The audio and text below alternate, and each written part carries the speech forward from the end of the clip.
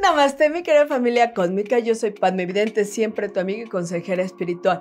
En este mes del amor, por supuesto que queremos dejar a un lado toda la monotonía, que no nos pase como en muchos casos, y empezar a reavivar esta llama del amor. ¿Qué es lo que necesitamos?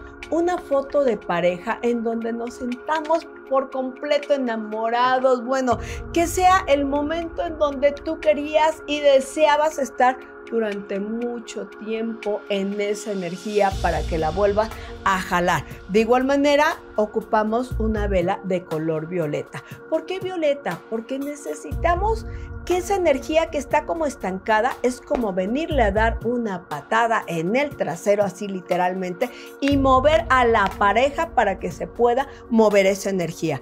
Un cuarzo de color rosa y una pluma de color negro. ¿Qué es lo que vamos a hacer? Atrás de la fotografía vamos a escribir tu nombre junto con los apellidos de él.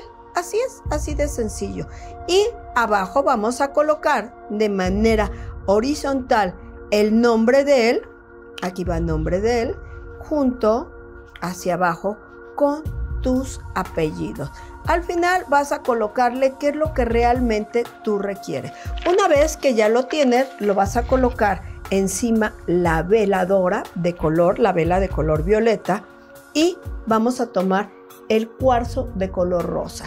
Una vez que ya lo tienes, le vas a poner tu energía que va a salir desde tu plexo solar. Aquí vas a pedir tu sensualidad, tu sexualidad, tu unión, tu pasión, en fin, cómo era ese amor, esa energía cuando iniciaron. Una vez que ya lo tienes, lo vas a colocar al frente de la vela, vas a encender tu vela, recuerda que es pidiendo permiso a los cuatro puntos, encendemos, cerramos y dejamos que se consuma.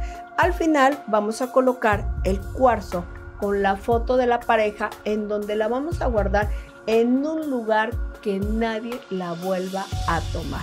Una vez que se reavive esa energía, vamos a quemar la foto y el cuarzo lo vas a seguir trayendo contigo.